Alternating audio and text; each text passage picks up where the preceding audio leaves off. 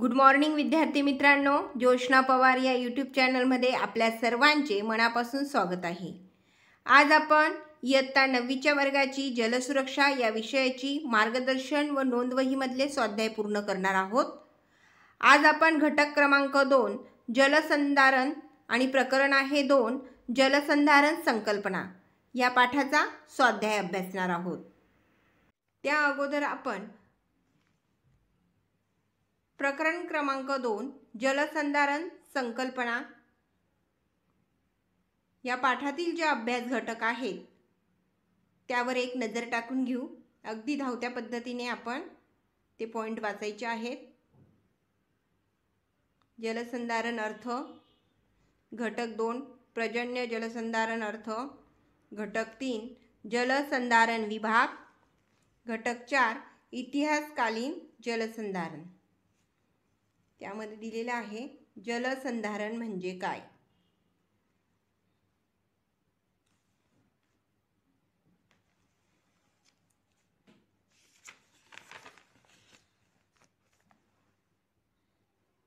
जलसंधारण उपाय. जलसंधारणाची वाढती गरज.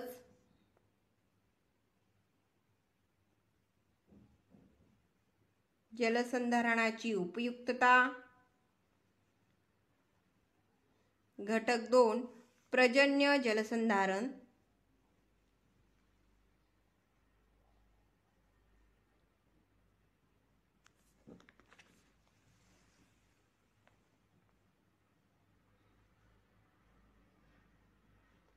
शहरी भागातील प्रजन्य जलसंधारण.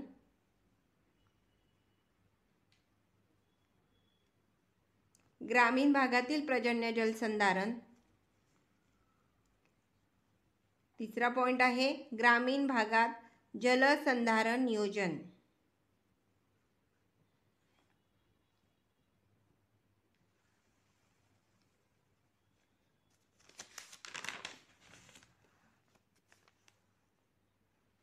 चौथा पॉईंट प्रजन्य जलसंधारणाचे फायदे.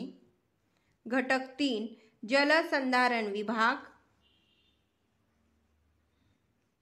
घटक चार इतिहासकालीन जलसंधारण.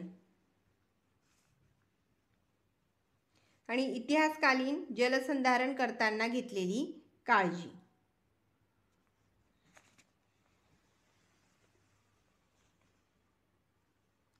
आणि आता आपले स्वाध्यायाचे प्रश्न लेखनासाठी प्रश्न पुढील प्रश्नांची थोडक्यात उत्तरे लिहा. पहिला प्रश्न आहे जलसंधारण म्हणजे काय?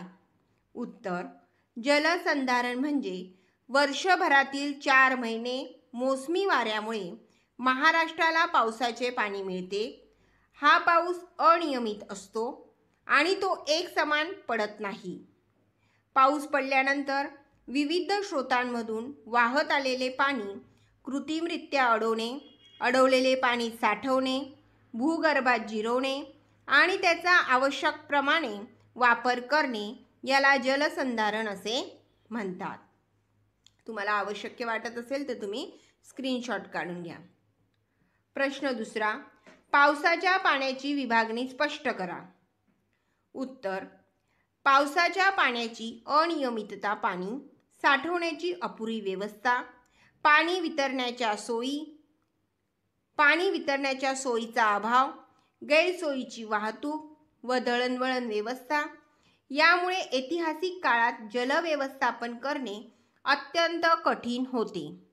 तरीही त्या काळात राज्यव्यवस्थेकडून स्थानिक पातळीवर लोकांकडून जलसंधारणाचा प्रयत्न केला गेला.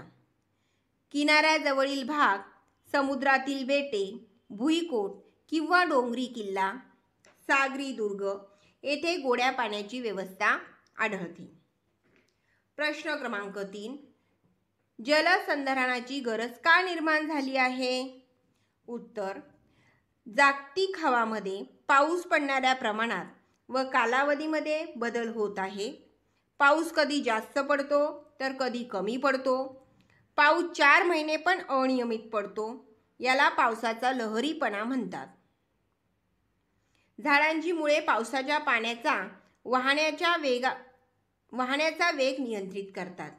परंतु सध्या वृक्षतोड जास्त व वृक्ष लागवडीचे प्रमाण कमी झाल्यामुळे जमिनीवरचे पाणी वेगाने वाहून जाते. परंतु लोकसंख्या वाढीमुळे पाणी वापरण्याचे प्रमाण आणि उपलब्ध पाणी यांचे प्रमाण पाहता जलसंधारणाची गरज वाढली आहे. प्रश्न चौथा ग्रामीण भागात जलसंधारण करताना कोणती काळजी घेणे आवश्यक आहे? उत्तर तटबंदी बांधताना पावसाचे पाणी वाहून बाहेर जाणार नाही याची काळजी घेतली गेली पाहिजे. किल्ल्यांवर पाण्याचा साठा तयार केला गेला. काटकसरीने पाण्याचा वापर केला जात होता. पाण्याचे बाष्पीभवन होऊ नये म्हणून पाण्यांपर्यंत सूर्यप्रकाश पोहोचणार नाही याची काळजी घेतली जात होती. प्रश्न पाचवा शहरी भागात जलसंधारण करणे का आवश्यक आहे? उत्तर शहरी भागात इमारतीच्या आसपास बऱ्याच ठिकाणी सिमेंट कॉन्क्रिटीकरण केलेले असते. त्यामुळे पावसाचे पाणी जमिनीत मुरत नाही.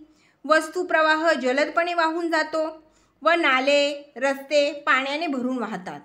त्यामुळे शहरात पूर परिस्थिती निर्माण होती. रस्ते नियोजनबद्धपणे बांधले जात नाहीत. नाले सफाई कचरा विल्हेवाट इत्यादींकडे दुर्लक्ष केले जाते. हे टाळण्यासाठी जलसंधारण करणे आवश्यक आहे. प्रश्न सहावा जलसंधारणाची उपयुक्तता सांगा.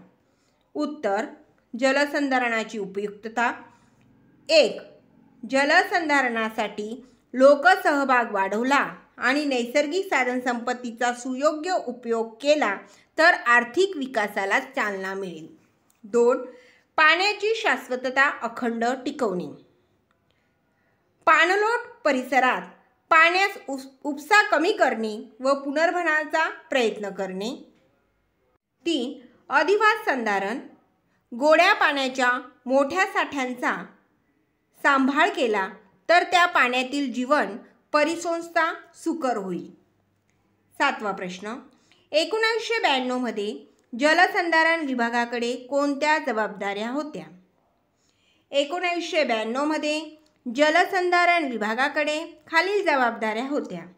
एक कमीत कमी भूसंपादन प्रक्रिया राबवणे. दोन भूगर्भातील पाणी पातळी वाढवणे. तीन विकेंद्रित जलसाठे तयार करणे. चार मोठ्या व मध्यम प्रकल्पांसाठी गाळ अडवणे. पाच अल्प खर्चात लघु व मध्यम आकारांचे. सिंचन प्रकल्प एक ते तीन वर्षात मार्गी लावणे. सहा जमिनीची धूप थांबविणे. आठवा प्रश्न प्रजन्य जलसंधारणाचे कोणतेही तीन फायदे लिहा. प्रजन्य जलसंधारणाचे फायदे एक नियोजनबद्ध जलसंधारण केल्याने भूपृष्ठावरील मूळ पाण्याचा साठा टिकून राहतो.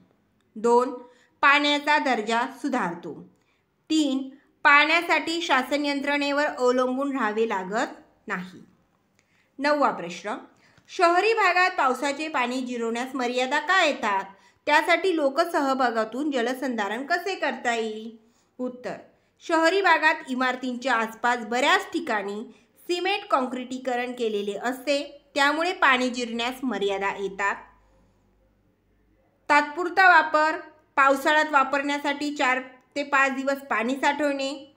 वरील दोन प्रकारे शहरी व ग्रामीण भागात प्रजन्य जलसंधारण केले जाते. परंतु पुढील काही प्रकारे ग्रामीण व शहरी भागात प्रजन्य जलसंधारण करता येईल. उपलब्ध पाणीसाठे स्वच्छ ठेवणे व पाणी काटकसरीने वापरणे. परिसरातील ज्या विहिरी आहे बोरवेल आहे इत्यादी स्रोतांचे पुनर्भरण करणे. अशा प्रकारे आपण प्रकरण दोन जलसंधारण संकल्पना या प्रकरणाचा स्वाध्याय अभ्यासलेला आहे आणि यापुढेही आपण प्रत्येक घटकावर आधारित स्वाध्याय पाहणार आहोत. तुम्ही जर चॅनलवर नवीन असाल तर चॅनलला सबस्क्राईब करा. जेणेकरून यापुढचे जे नवनवीन शैक्षणिक व्हिडिओ मी यूट्यूबवर टाकेन त्याची नोटिफिकेशन अगोदर तुमच्यापर्यंत पोहोचेल. Thank you.